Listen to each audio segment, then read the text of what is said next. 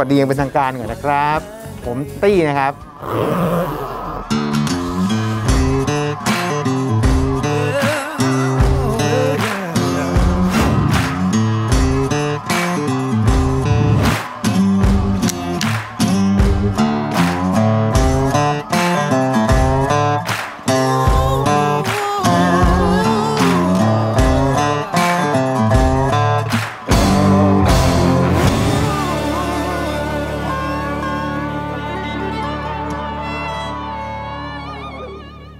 มื่อก่อนเป็นตี้วีนัสครับแล้วตอนนี้ตี้วงวงไหนก็ได้ครับรักทุกวงนะครับ ก็หลักๆก็เป็นมือเบสแบ็กอัพสตัมนะตอนนี้ แล้วก็เมื่อก่อนก็มีเล่นพวก The Voice ก่อน The Voice ก็มีพี่บีพิรพัฒน์อะไรประมาณนี้นะครับ แล้วก็เป็นมือปืนห้องอัด ก็รับทั้งเล่นสดแล้วก็ห้องอัด จริงๆก็ค่อนข้างจะพัฒผูครับ เพราะว่าช่วงที่ก่อนปี 2000 หน่อยๆ ผมก็ผมก็เริ่มทำวีนัสกันแล้ว แล้วคราวเนี้มันก็ไปเจอเพื่อน เอ่ยชื่อได้แหละ มันคงไม่ว่าผมหรอกไอ้กบบาบันเนอร์ ไปซ้อมแล้วก็ไปอัด demo ที่บ้านมันแถวสี่ย่าน แล้วเนี่ยก็ไปจับเพราะจะผูไปอัดไปช่วยมันอัดเพลงวงมันด้วย แล้วมันก็เลยชวนกันไปอัดเพลงใน RS ครับ มันมีเพื่อนรับงานจากทีมทีมทำเพลงใน RS มาอีกทีหนึ่ง แล้วก็เลยก็ได้ไปได้ไปทำเพลงให้วงวงเอาครับ ถ้าใครจำได้ก็ขนแขน stand up นี่คือพวกผมเลยครับ ถ้าเขาเรียกว่าอัดเป็นแบบเป็นเป็นมือปืนนะ ไม่นับงานตัวเองนะ เพลงชื่อเพลงลางโปรโมทเพลงแรกเลยเขาหาว่าฉันเป็นลางโง่อะอันนั้นน่ะนะครับนั่นน่ะเพลงแรกในชีวิตผมเลย เพลงล่าสุดถ้าถ้าออกอากาศแล้วก็ไอ้นี่แหละ ต่อจากนี้ เพลงรักทุกเพลงจะเป็นของเธอเท่านั้น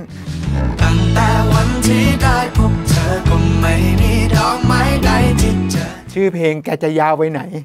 แล้วผมก็จะถูกถูกฉลกอะไรกับไอ้เพลงชื่อยาวๆของจันดองอะไหนๆแล้วเล่าหน่อยเผากันนิดนึงมึงจะตั้งชื่อเพลงอะไรยาวๆแล้วคนจะจำได้ไหมไอเนี้ย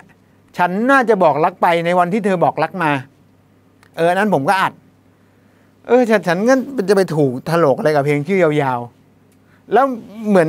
ไอเพลงชื่อยาวๆเนี่ยของไอสองวงเนี่ย คือเพลงดังที่สุดของของไอสองวงนี่เอ๊หรือว่าจริง ๆแล้ว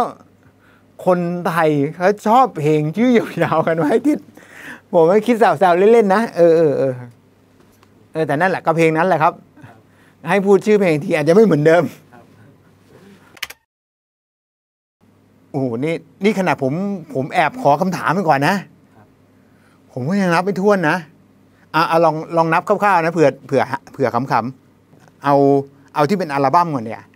ลิปตาหนึ่งสองตีกลมๆประมาณยี่สิบมันจะมีนั่นอีกก็โปรเจกต์แบบข้างๆ นู่นนี่อะตีกลมๆยี่สิบก่อนเทสเตอร์เนี่ย อัลบั้มหนึ่งสองรวมกันน่าจะประมาณสักสักแปดเพลง โอ้โห แล้วบีพี่บีพิรพัฒน์อีกสองอัลบั้มเต็มยี่สิบยี่สิบสี่สิบห้าสิบโอ้โห เยอะแล้วนะ แล้วโนวันเอลนี่คือทุกเพลงฮะแล้วก็จะมีโมลาโมลาสัญชายเนี่ย แล้วก่อนเป็นโมลาโมลาสัญชายมันเป็นสปินาเคิลมาก่อนด้วย บอกไม่ถูกแต่ผมว่ารวมๆมันน่าจะเกินร้อยอาจจะบิดเบียดสองร้อยอะไรเงี้ยไม่ไม่อันนี้ไม่แน่ใจ นี่รวมเพลงโฆษณาอะไรด้วยนะ ยากสุดของผมเนี่ย ปั้มอยู่ประมาณสองอาทิตย์ ส่งไลน์ไปประมาณสามครั้งกว่าจะกว่าจะเรื่องมันชื่อเพลงนักผสม คือแบบเหมือนคุณฟังแล้วมันจะเหมือนไม่มีอะไรเลยมีมีไอ้ลูกยัดยัดๆอยู่ลูกเดียวสองลูกอะไรแค่เนี้ยแต่ปรากฏว่ามันยากตรงไอ้ part ที่ rhythm ความสั้นยาวความหนักเบา แล้วก็ไอ้ layer มันอะเก็บสิ่งเหล่านั้นไว้แม้มันจะดูเก่าแค่ไหนฉันก็ยังวางมันทิ้งไว้ เราเราส่งไปเราก็ยังรู้สึกว่าไม่ได้ ส่งไปก็ยังพิมพ์บอกพิมพ์บอกมาในไลน์ว่า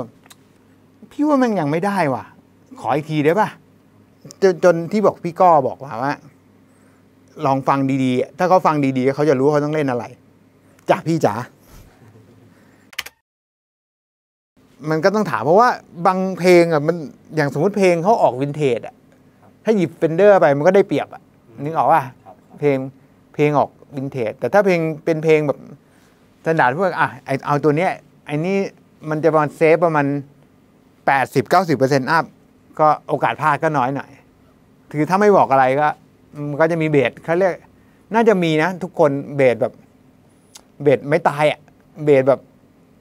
ลุยได้หมดเออ นึกอะไรไม่ออกหยิบตัวเนี้ย ไปห้องอัดก็ต้องคุยกับเจ้าของงานเขานิดนึง arranger หรือ เจ้าของเพลงเลยโปรดิวเซอร์ว่าเขาอยากให้เพลงเป็นเป็นประมาณไหน มันตรงกับที่เราคิดหรือเปล่าอะไรเงี้ยเพ ราะมันเคยเหมือนกันว่ามันมันวืดไปคนละทิศก็มี คือบางทีที่เตรียมไปก็ไม่ได้ใช้ แต่ห้องอัดที่ผมไปส่วนใหญ่เขามีตู้ของเขาอยู่แล้วพาร์ทที่เป็น DI กับ PM มันส่วนใหญ่ไม่ได้พกไป ยกเว้นมันจะถ้าพวกแอมอะมีแอมที่เราคิดว่าแบบนำเสนอตัวนี้มันใช่กับเพลงนี้จริงก็โอเค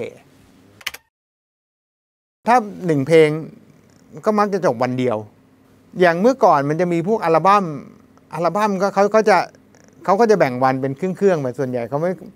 ไม่ค่อยให้แบบ ไม่ค่อยไปทีละเพลงอะอย่างทำอัลบั้มอย่างสมัยพี่บีหรืออะไรก็ อ่า ถ้าเบก็เขาจะมีรวมทำเซสชั่นก่อนทำเหมือนอัดไกด์สำหรับสำหรับอัด คืออะทุกคนไปเล่นสดพร้อมกัน แล้วก็อัดไปทีหนึ่งเพื่อเอาไอ้เนี้ยมาให้อัดแยกแยกแทร็กกันทีละชิ้น เสร็จแล้วก็เออไปไล่อัดกันอ่าวันนี้กอง วันนี้เบสอ่าสิบเพลง เอาไปสักสองสามวันจบอะไรเงี้ยอย่างนี้อะเอาเผาเจสเตอร์ก่อนก็ได้เพลงไอเพลงชื่อในตัวฉันเนี่ย คือไอช่วงนั้น ไอโอมือกีต้าร์หัวหน้าวงนะฮะไม่รู้มันไปฟิตอะไรมา มันให้ผมอัดเบสแหละโดย condition มันอะ อยากได้ long take มึงไม่ใช่ไอหนังอะไรวะหนึ่งเก้าเจ็ดเออหนึ่งเก้าหรือเปล่าวะ คือมันกลัวไม่ได้ฟิลกูอยากได้เทคยาวเลย แล้วแล้วถ้าเดี๋ยวเดี๋ยวฟังเดี๋ยวก็รู้ว่ามึงเทคยาวมึงไหวเหรอวะ คือคือต่อให้เล่นไม่ผิด แต่ energy มันน่าจะตกอะ่ะ ผมเท่าเท่าที่ต่อให้ฟิตฟิตเลยนะ คือแบบ เพราะลูกจุกจิกมันก็มันก็จะมีในในรายละเอียดมันพอมันซอยไปซอยมาแล้วคันนี้มันแบบยังไงยังไงท้ายอะ่ะแทนที่มันจะพุ่งขึ้นมันเสี่ยง energy ตกมาก ก็ประคองตัว ก็เลยบอกมันอะงั้นเอาเทคยาวไปสักทำไม่ได้สักสองสามอันแล้วกันวะเอาที่มึงเลือกได้สักสองสามอันน่ะแล้ว แล้วลูกไหนมันไม่ได้จริงก็เจาะเอาแล้วกัน เพราะมันมีลูกฟิกไอโอลูกหนึ่งอยู่ อันเดี๋ยวผมเล่นเล่นให้ดูปื้ดหนึ่งก็ได้ ลูกนี้ครับ มันจะมี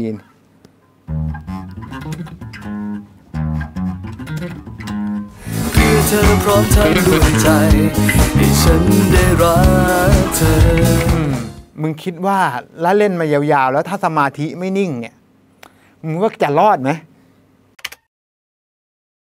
เคยเคยเล่นเคยหัดกีตาร์กับเพื่อนอะ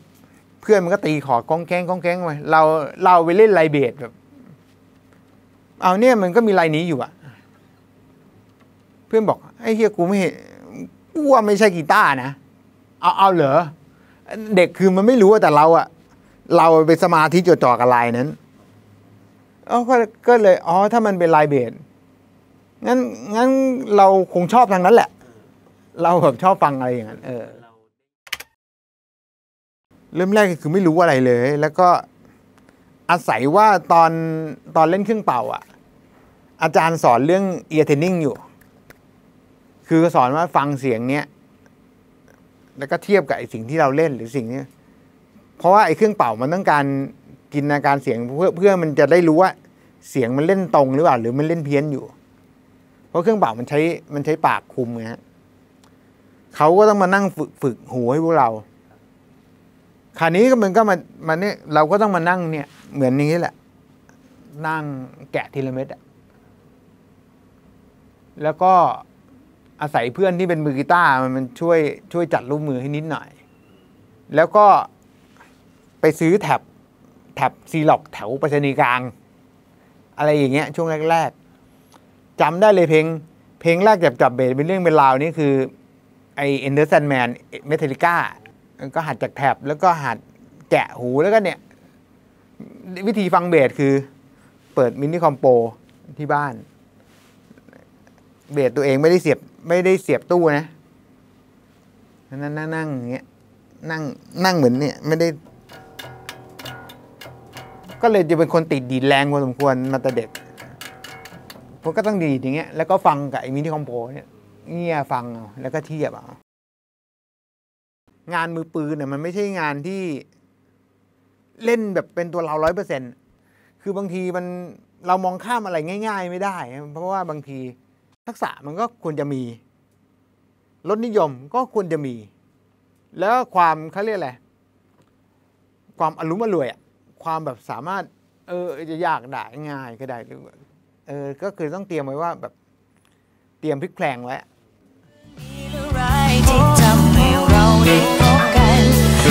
จากนี้เพลงรักจะ